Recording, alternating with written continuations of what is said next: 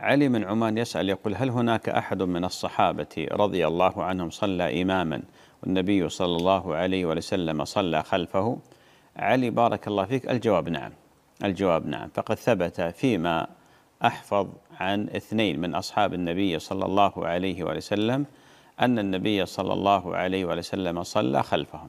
الأول أبو بكر الصديق رضي الله عنه أبو بكر الصديق. فثبت أن النبي عليه الصلاة والسلام حينما آه، مرض صلى الله عليه وسلم مرضه الأخير آه، قام أبو بكر فصلى بالناس لأن النبي عليه الصلاة والسلام قال مروا أبا بكر فليصلي بالناس. وكان أبو بكر إذا صلى لا يلتفت يعني بمعنى يخشع في الصلاة.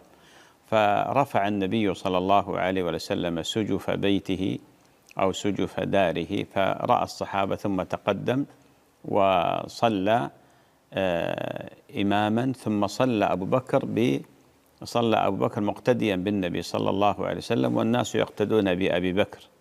وقيل أيضا بأن هناك حادثة أخرى أن أبا بكر في غير مرض الموت آه، في غير مرض موت النبي عليه الصلاة والسلام. أيضا تأخر النبي عليه الصلاة والسلام في بني عمرو بن سعد أظن أو بن عوف يصلح بينهم فتقدم أبو بكر فصلى بالناس.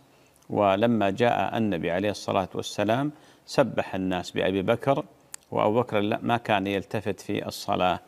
فدخل النبي عليه الصلاة والسلام فقال له مكانك. أراد أبو بكر أن يتأخر فقال له مكانك. فصلى النبي عليه الصلاة والسلام آه، مع أبي بكر. فرفع أبو بكر يديه يدعو الله عز وجل ويشكر الله عز وجل على منته حيث إن النبي عليه الصلاة والسلام اقتدى بأبي بكر.